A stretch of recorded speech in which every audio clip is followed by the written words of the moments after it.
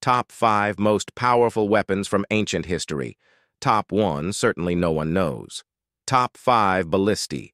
Ballistae were ancient Roman and Greek artillery devices used for launching large projectiles.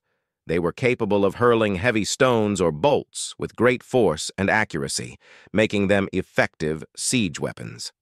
Top 4 War Elephants War elephants were used by several ancient civilizations. These massive animals, often armored and equipped with archers or spear throwers, were formidable on the battlefield due to their size, strength, and intimidation factor. Top 3.